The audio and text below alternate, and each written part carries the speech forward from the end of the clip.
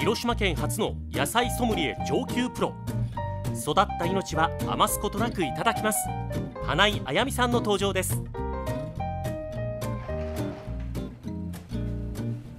花井さんよろしくお願いします。よろしくお願いいたします。さあ今週は脱マンネリアイデアそうめん料理というテーマでお送りしています。今日はこちらを作ります。スタミナオンダレそうめんということで、あったかいタレでいただくそうめん、そうそう、はい。なんかまだねあの暑いですけども、もう虫もね泣き出して、はい。こう気分はなんか秋じゃないですか、うん。だからちょっとこうあったかいのいいかなと思って、しかもスタミナがつくというね。そうですね。はい。はい。いろんな具材が入っております、はい。ぜひ皆さんもこれからの季節参考にしてください。さあそれでは早速クッキングスタートです、で、はい。今日ねナスを使いますよ。はい。はい。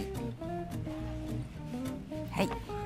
さあ今日は野菜ソムリエ上級プロの花井さんが一番好きな野菜。そうそうそう。で今日今日はね、はい。8月の31日でしょ、はい。野菜の日なんですよあ語呂合わせてそうそうそう。831で野菜、そうそうそう、はい。ですから今日はね、はい。全国ではい。野菜ソムリエさんたちがはい。いろんなねイベントをねされますよ、あそうなんですか、野菜をたくさんね食べてくださいねっていうふうなことでね、はい。花井さん何やってるんですか今ここで今ここであの全国で野菜ソムリエさんたちがいろんなイベントされてるわけですよね。野菜食べてください。で私はここでねあのナス切ってます。広広島で一番最初にね上級プロの資格取った方ですよね。そうそうそうそうそう、何やってるんですか？ね。いやあぶっちゃけれ今日使う野菜ってこれだけなんでしょ？花井さん？はいはいはい。今日ナスだけなんでしょ？そうそうそうそう。野菜の日だから野菜たっぷりメニューよっていうことじゃなくて日頃の花井さんが紹介するメニューに比べたら野菜が少なめかなっていうそうですね。まあ私帰ってあの帰ってね晩ご飯で一発あの作りますからえ大丈夫です。あそれは花井家の仕様ですよねそうそうそうそうそうそうそうそう。はいできましたね。はい今日は8月31日野菜の日ね、はいたくさん野菜を食べてくださいね。はい。はい。さあナスは縦半分に切ってそこから半月切りにしでねました、、いつも言ってますけど、はいあのもう調理する直前なので、これ水を水気でね、アクとか取らなくても大丈夫です。はい、もう調理直前だと水にさらさなくていいわけですね。であとはね、今日ね生姜ですね。はいこれ生姜ねやっぱりこうしっかり食べてもらおうと思って今日はねスライスしてますね。薄切りにしてあります。で、はい、豚肉です。はい、豚肉はねバラ肉でもうん細切れでもねいいですよ。豚バラでも豚こまでもあの薄いあの。分ですね。はいでこちらの方をこれからですね、はいこちらにねめんつゆ例えば2倍濃縮でしたらね2倍にしてもうすでにあのいいちょうどのいい濃度にしてくださいね。はい、はい。えー、めんつゆ2倍濃縮タイプなので水が250、うんめんつゆ250ですね。で、はい。こちらにね今日はねお肉使いますので、はい。あのお酒、うん。で結構な量を入れても今日大丈夫ですよ。はい。でこれだいたいそう 30cc ぐらいかな。でも本当にあのお酒っていうのは、はい。どんだけ入れてもね大丈夫ですので、うん。でもうどんだけ入れても大丈夫なんですか？いやあのあの お塩はねはい。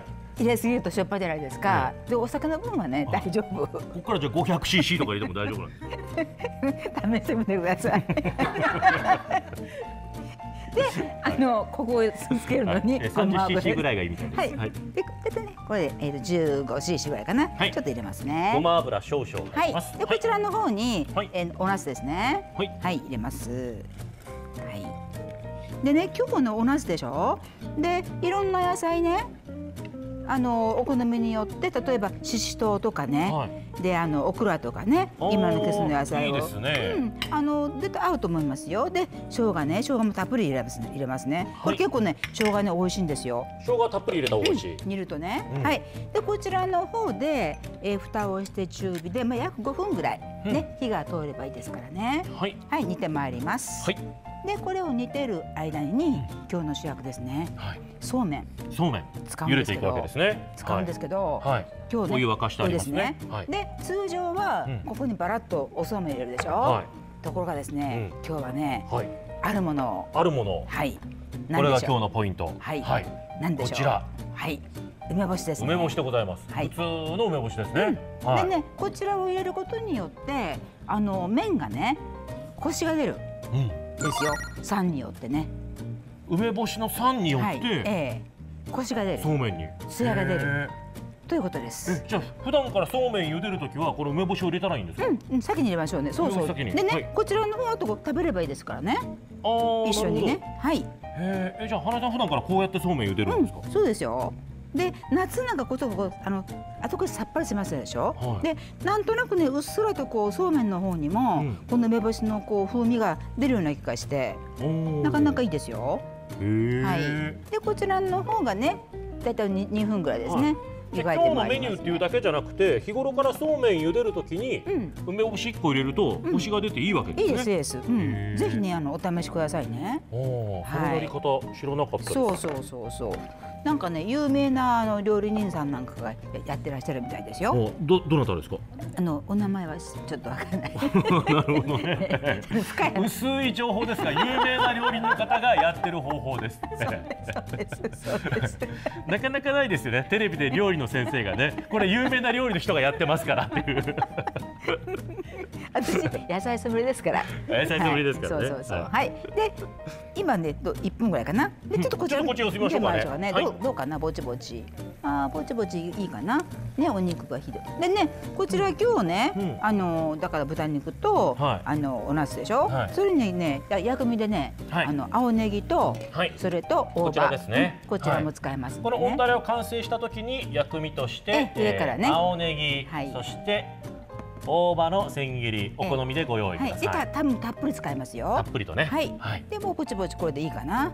ね。そうめんもいい感じ。いいですかね。はい、はい、じゃあこれ取ってまいりましょうかね。はい。まず梅を取り出すんですか？そうですね。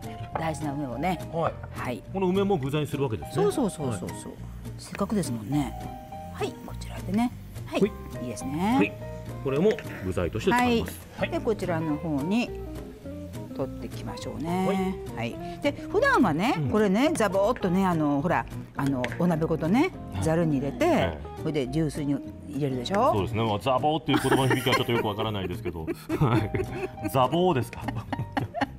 で、あのそうめんってあの表面に油がついてますので、はい、しっかりとね洗いましょうね。あ、なるほど。そう。これなので我々は今ね、うん、近くに水道がないのでこうやってますけど、そうそう皆さんいつも通りのそうめんの湯がき方でいいということですね。洗うということですね。はい、しっかりと油分を洗い流して、であのさっぱりとした味にするってことですね。はい。ちょっと残ってますけどいいにしましょうかね。いいにしますか。はい。はい。はい、いいにしましょう。はい、オッケーです。はい。はい。はい、なぜいいにしたかというと、はい、えー、しっかり水気を切ったものがここに置いてあるからですね。すね はい。使うのはこっち使います。ですね。はい、でぼちぼちこれでこちらの方もあいい感じですね。火通りましたか？はい通りましたよ。はい、じゃあこれで盛り付けてまいりましょうか。ほらね結構これ美味しそうでしょ？ね。ねであのー、ぼちぼち夏の疲れが出てくる頃に、うん、豚肉のビタミン B1 でね、はい、補給して元気にってことですね、うん、はいじゃあ火を止めます。はい。ではでは、はい、盛り付けてこれでこれでいいかな？はい。盛り付け。はい、盛り付けが大事。盛り付け大事。はい、はい、盛り付けね。はい。ですね。どうですか？ちょっとお水かけます？あでもいいいい感じですね。いいですね。はい、はい。ちょっとねこれねすすべ箸がね滑りますね。箸滑る。うん箸が良くない。箸が良くない。はい。他の箸出しましょうか。はい大丈夫ですよ。腕がいいから。大丈夫ですか？はい。自分自分で誰も言ってくれないから自分でいいんですけどね。はい。僕の箸持ってきましたけど。はい。ちょっとこれでいきましょうか。これちょっと麺類を美味しそうに盛り付けるのってね。そうそうそう。テクニックいりますもんね。いりますね。こうやっぱりこうあの皮が流れるような感じでねするといいですけど。いい表現ですね。いいですね。でもなかなか流れてないですけどね。皮が流れるようにそうめんを盛り付ける。そうですね。はい。これ流れが見えた方がいいですか？そうですね。はい。はい。はい。でこちらの方にこのね梅干しをちょっと添えるといいかな。いいですね。はい。はい。それでこちらの方のおつゆですね。はい。おつゆ。はいこちらですね。はい。でもこちらにですね時間にね。でもうね具たっぷり食べていただきたいですね。そうですね、うん、でもこのあったかいタレだから、うん、これからちょっとそうめん余ってるけど、少し肌寒くなってきたかなっていう時でもいいですね、いいですね、で暑くてもやっぱしねあの暑い時に暑いものを食べるっていいじゃないですか。ああなるほど。ねはいちょっとこれお汁を入れましょうかね。はいで結構ねししとうをねこの前あの使ったらね合いましたよ。ししとう辛子ね。ししとうもいい、うん、はい。オクラとかししとうとかいろいろ合わせたいですね。はい。はい。はい。でこちらの方に最後に大葉とネギをたっぷりと大葉とネギを。乗っけていけば出来上がりですね。ちょっとたっぷりすぎました？たっぷりすぎました。帰ってきましたねおばがね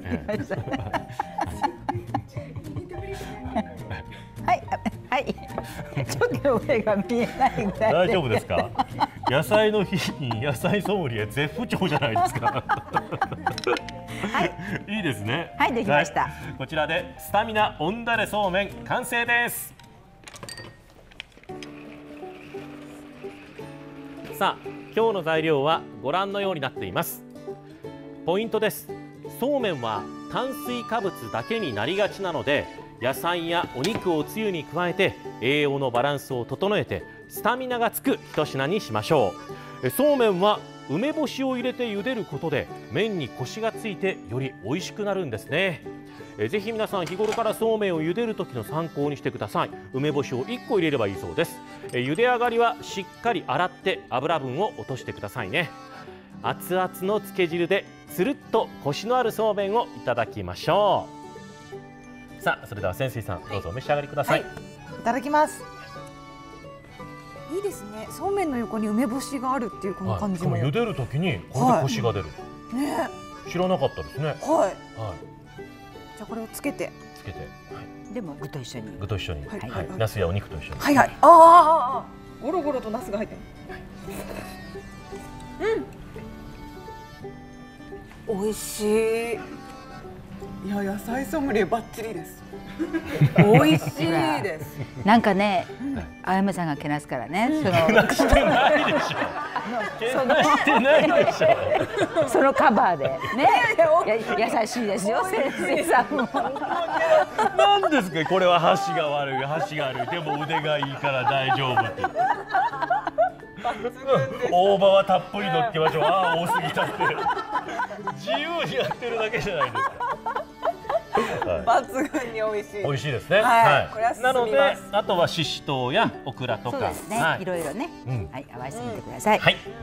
さあ来週はお肌に嬉しい食材レシピということで月曜日は韓国料理のチョンさんに牛アキレスのうま塩煮を教えてもらいます。こちらもお楽しみに。花井さんどうもありがとうございました。ありがとうございました